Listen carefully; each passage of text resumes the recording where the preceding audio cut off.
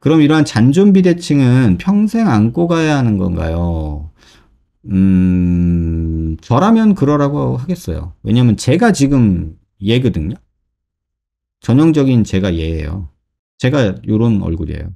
여러분 인식하시나요? 제 얼굴이 그렇게 생긴 거? 모르시겠죠? 저 얼굴 보세요. 아시겠어요? 제가 얘예요.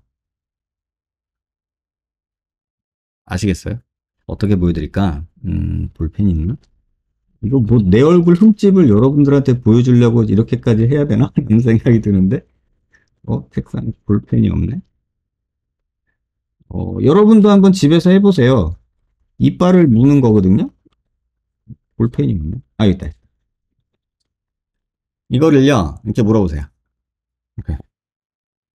그리고 눈높이를 보세요. 귀 높이를 보고요. 위거리가 달라요. 여긴 짧죠? 이게 커요. 정면. 자, 마스크 보고. 어. 여기가 짧고, 여기 커요. 그래서 저는 이쪽이 큽니다. 그리고 웃을 때도 보면요. 이렇게 보세요. 썩소한다고 친구들이 맨날 소풍 가서 찍은 사진이 다 그래요.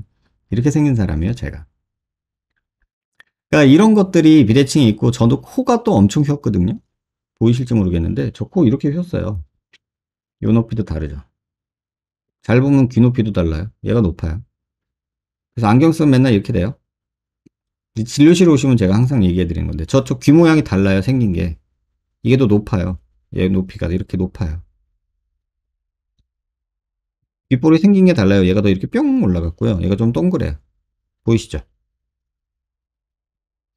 제가 이런 사람이라서 이걸 뭐 평생 안고 가야 된다라고 뭐 말할 정도로 그렇게 불편한 내용은 아니고요. 그냥 똑같은 사람 없어요. 이런 사람 없어요. 참고로. 이런 사람은 정말 가뭄에 콩나듯이 하나 있을까 말까지 정말 없습니다.